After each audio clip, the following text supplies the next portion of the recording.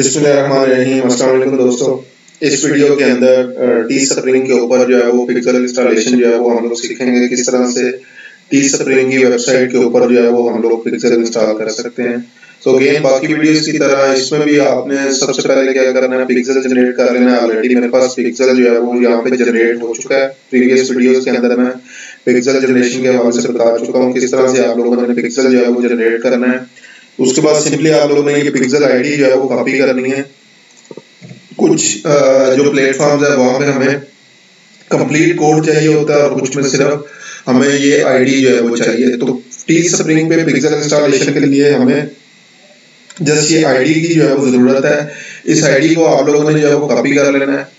उसके बाद डायरेक्टली जो है वो आप लोग अपने टी स्प्रिंग अकाउंट के अंदर आएँगे। टी स्प्रिंग को लॉगिन करने के बाद आप लोगों ने जो है वो क्या करना है? टूल एंड सर्विसेज़ और टूल एंड सर्विसेज़ के बटन पे जाके यहाँ पे ये ट्रैकिंग पिक्सल्स की ऑप्शन है, ट्रैकिंग पिक्सल्स। इसके ऊपर आएँगे तो यहाँ पे फेसबुक ट्विटर पेंट्रस्ट गूगल की ऑप्शन जो है वो मौजूद है। ऑप्शन जो है वो आप लोग सारे जो है वो देख सकते हैं यहाँ पे।